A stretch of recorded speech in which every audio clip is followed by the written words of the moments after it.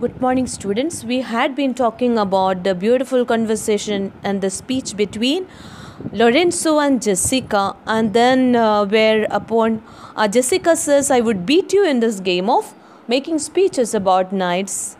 And it was then, then uh, they hear the footing or the footsteps of someone. And so um, they stop their conversation there. And who comes there? It is Stephano, a friend.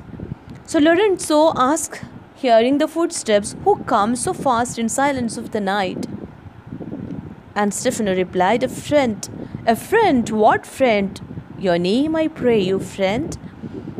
Stephano. Stephano is my name.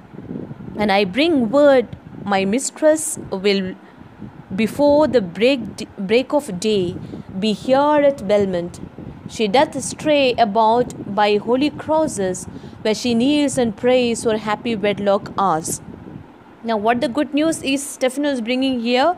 Stefano has come to inform Lorenzo and Jessica, who are the um, masters of uh, Portia's house in her absence. In the absence of Bassanio and Portia, Lorenzo and Jessica was taking care of the uh, house of Portia in Belmont. And so uh, Stephano has brought the good news that the mistress is going to be there in few minutes. And then he has come to know whether Bassanio has reached home. Okay. And here uh, he says, my uh, mistress will before the day before the break of the day early in the morning be here at belmont she doth stray about by holy crosses where she kneels and prays for happy wedlock. Where she was she was praying in the monastery. It was told to uh, lorenzo and jessica that she and nerissa would be praying in a monastery for the happy uh, wedlock as well as for the happy return of their husbands. What is this uh, um, she doth stray by holy crosses children here portia uh, is spending some time in religious exercises in various sacred places. The cross is the symbol of as all of you know it is a symbol of christian religion. And usually uh, it marks a sacred place or shrine. One or two um, editors have abducted this as evidence of portia's religious character okay? And uh, but we know uh, that Bassanio is in great haste to return to Belmont at top speed, and yet Portia contrives to arrive before him. So uh, we may accept this in, uh, in this information of Stephanos as a polite uh, fiction to satisfy the curiosity of the servants as to their mistress whereabout. So uh, this reduces the curiosity about the return of Portia. So he has come to just introduce about the return of Portia and Nerissa. Wedlock you understand I suppose it is about married life. To this Lorenzo says, Who comes with her? None but a holy hermit and her maid. I pray you, is my master yet returned? So he not only has come to in, inform about um, Portia's return, but also he wanted to know if Bassanio has reached before Portia.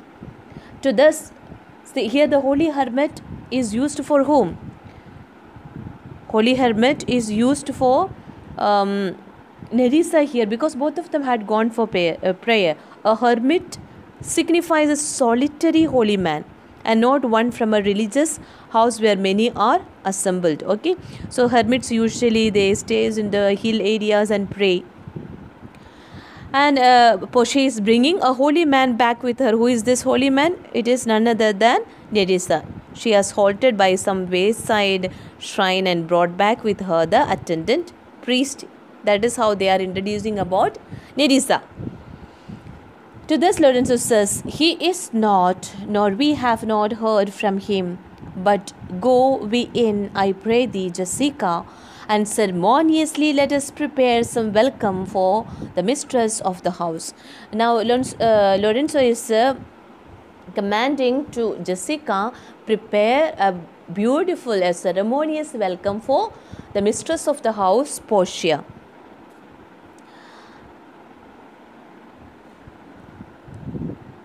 Lancelot. Now here comes Lancelot is always with all his fun, isn't it?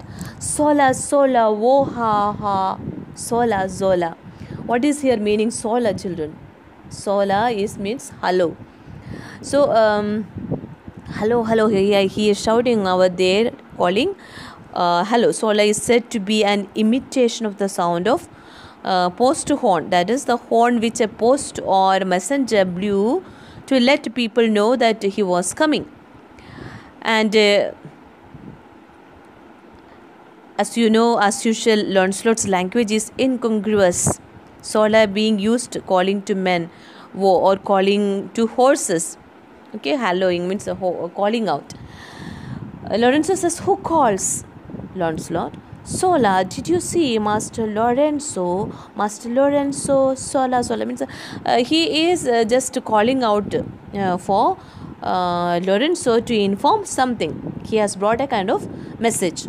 Lorenzo, leave hallowing. Man here. He said hallowing means calling out for my name. You stop calling about, uh, out my name. I am here. Sola, oh, where, where? Here. Tell him there's a post to come from my master with his horn full of good news. My master will be here early morning.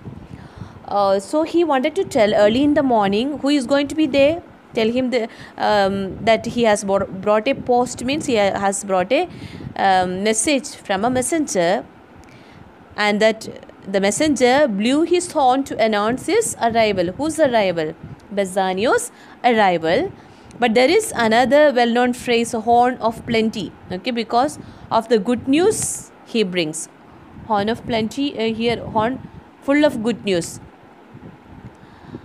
Now lorenzo says sweet soul let's in and there expect their coming and yet no matter why should we go in?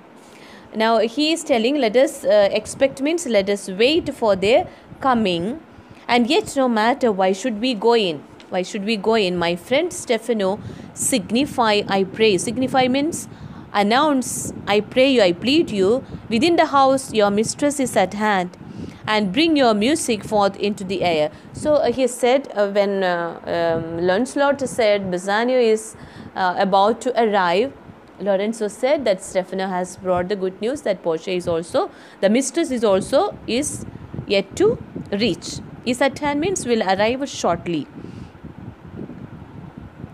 How sweet the moonlight sleeps upon this bank. Here will we sit and let the sounds of music creep in our ears. Soft stillness and the night become the touches of sweet harmony. Now, this uh, Jessica and Lorenzo were speaking about the beauty of the moonlight, isn't it? So they continued. So uh, here, uh, these lines are a passage of pure lyric beauty introduced into the fabric of the play as one might insert a bright diamond into cloth of gold. So shakespeare the poet rather than uh, shakespeare as a dramatist is before us in this in these lines. The beautiful poetic verses are used in these lines here. How sweet the moonlight sleeps upon this bank. Here will we sit and let the sounds of music creep in our ear. So we um, we find Shakespeare not as a dramatist here, but we have a poet Shakespeare here.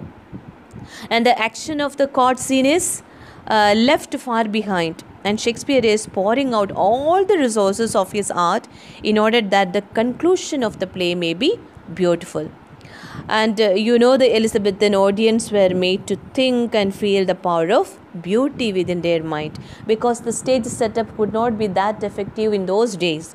And so it is only uh, with these poetical expressions and words they used to bring into their mind the imagination of the beauty of the moonlight. And the beauty of a stage illusion on the modern stage is only an appeal to the senses. Um, now what is he say, telling? Let the sounds of music creep in our ears, meaning, let beautiful music steal gently upon us. And these are some of um, the, if you have read the Twelfth Night of Shakespeare, some of the similar lines you find in him. soft stillness and the night become the touches of sweet harmony. What does it mean? Peaceful quietness and night time are very suitable for the notes of sweet music. Soft stillness means peaceful quietness. And the night time and the night become uh, touches of sweet harmony and the night time are very suitable for the notes of sweet music sit jessica look how the floor of heaven is thick inlaid with the patinas of bright gold there's not the smallest orb which thou beholdest but in his in his motion like an angel sings still querying to the young eyed cherubims. Such harmony is in immortal souls. But while this muddy vesture of decay doth grossly close it, we cannot hear it. Now, what is he telling? Here, Lorenzo shows a poetic nature and uh, uh, one keenly sensitive to the appeal of pure beauty. And he imagines here, he says, uh, look, the floor of heaven is thick inlaid with patinas of bright gold. So he wanted to say he imagines the heaven to be a great floor, or rather, uh, he pictures the sky as being the floor of heaven, which is above the sky. And this floor is adorned by the incision of plates of pure gold. Patinas of bright gold, gold means plates of pure gold uh, which are set into the floor okay uh, there's not the smallest orb which thou beholdest uh, but in his motion like an angel sings means the ancients uh, had a peculiar conception of the stars and the heavenly bodies and they believed that every star and planet produced in its motion a peculiar music note. And the combination of all composed the grand harmony of the universe. The cherubs are the uh, are the angels. Cherubs here mentions about the angels okay? Uh, are depicted as listening to the music of the stars. And they are the angels are responding to it. The same conception of the music from the heavenly bodies is referred to elsewhere by shakespeare. We uh, again find these kinds of lines in 12th night children. And then still querying still choiring means singing. Choir is uh, here used here is for singing like a choir to the young eyed cherubims cherubims are the angels. Such harmony is in immortal souls but while this muddy vesture of decay doth grossly uh, close it in we cannot hear it. So Lorenzo is stating here that our souls are immortal. Souls are immortal. Um, only we are mortals but our souls are immortal and also produce our souls produce a divine music. But as long as the dull human body our body is mortal that is muddy vesture of decay. Muddy vesture underline. Muddy vesture of decay is meant for a human body which will decay. Death grossly close it in we cannot hear it. Because our souls are covered the, our immortal souls are being covered by this muddy vesture of clay a decaying body. And so we cannot hear this divine sound. The divine music is there among the stars and the angels choir it. And our inner souls which is immortal also sing this beautiful music but we are unable to hear this divine music which is within our soul because uh, the decaying body the muddy vesture of decay the body which will decay which is made of clay. These are all references to Bible children. If you hear the story of creation, God created man with the clay and then he breathed his uh, spirit into man and that's how, how the um, man was created. So here that references the, the body is just a clay and the clay can be decayed. But the inner soul, the spirit God breathed in us is the soul that is divine and it has the divine music now who enters there um, uh, between this talk we have musicians entering here to have a ceremonial welcome for Portia and Bassanio come ho and wake Diana with a hymn who is here Diana children Diana was the goddess of the moon So, to sing a hymn or a solemn song by night might be said to awaken her. So, awaken the goddess of the moon. With the sweetest touches, pierce your mistress' ear and draw her home with music. Here, pierce means penetrate. Against uh, here, Lorenzo is uh, speaking um, the poetic lines that let the beautiful music divine music pierce your mistress here and draw her home with music. These are all in preparation to welcome portia. To this jessica says i am never merry when i hear sweet music. Now jessica says i never um, what is she telling i am never merry i'm never happy when i hear sweet music she uh, she expresses that it is not so um, uh, pleasing to her ear. To this, Lorenzo says, The reason is your spirits are attentive and do but not a wild and wanton herd or race of youthful unhandled colts, fetching mad bounds, bellowing and uh, neighing loud, which is the hot condition, which is the which is the hot condition of their blood. If they but hear per, per chain, perchance a trumpet sound or any air of music touch their ears, you shall perceive them make a mutual stand. Now, what Lorenzo is saying, Lorenzo shows his reflective nature, okay? Uh, uh, his poetic conception and thoughts, and his profound joy in beauty. We see greatness in him which we had not previously suspected. It is Shakespeare himself who is speaking, that point of pure beauty.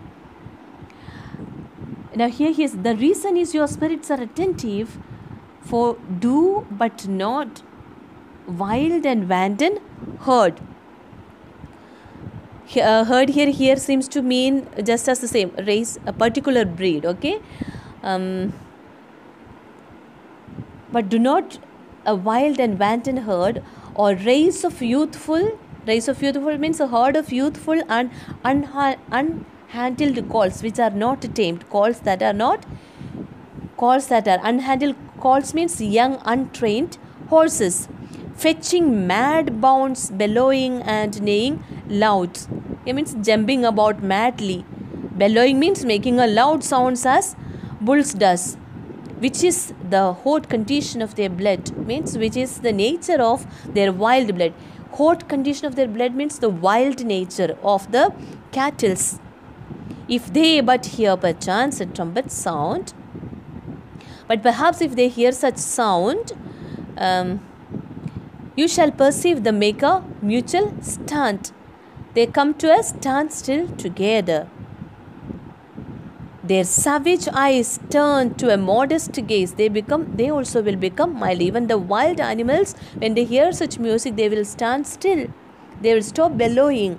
And they will um, they will have a kind of um, they will uh, also try to listen to this music and they will become mild. Even the wildest animals animals will will, will become mild by the sweet power of music Therefore, the poet did feign that Orpheus drew trees, taunts, and floods, since not so stockish, hard, and the full of rage, but music for the time doth change his nature. So, here he is mentioning the Roman poet Ovid, narrated how Orpheus, a great musician, made trees and stones and streams move from place to place by the power of his music. For nothing is so material, so unyielding, or fears that music will not change its nature, at least for some time. And the man who has no love for music in himself, or who is not affected by sweet melodies, capable of treachery, intrigue and dishonesty. So why he tells all this? Because uh, jessica said i am never lively when i hear sweet music. So she, he in some way making her understand everyone enjoys the music even the wild animals stand still. And the soul within him is black as night the people who does not do not enjoy the music their soul within him is black as night and his inclination as dark as hell. What is he telling? The motions of the spirit are dull as night. His inclinations are dark as here night is meant for hell. And his affection dark as a Erebus let no such man be trusted mark the music he is telling never trust such a man who does not listen to the music, who does not enjoy the music. Erebus, uh, actually, here Erebus was an abode of utter darkness, supposed by the classical people to exist in the underworld and corresponding to our concept of hell. So, Erebus stands for the hell here. Now, who enters? Portia and Nerissa enters. I think students um, now we'll uh, we have the talk of Portia and Nerissa and so much more is there. So we stop here. We will have in the next class all about how the entry of Portia and Nerissa. Then we have Bassanio and Gratiano coming in. Then we have the uh, Antonio and all this. Okay, so we stop here. All the best students. God bless you.